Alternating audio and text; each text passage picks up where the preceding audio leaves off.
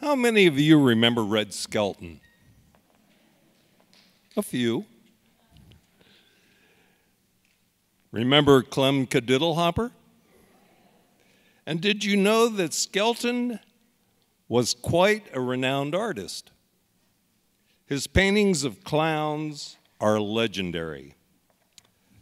A man who fervently loved his country and the nation's flag, Red Skelton also was a musician. And he composed a short march with the delightful title of Red's White and Blue March.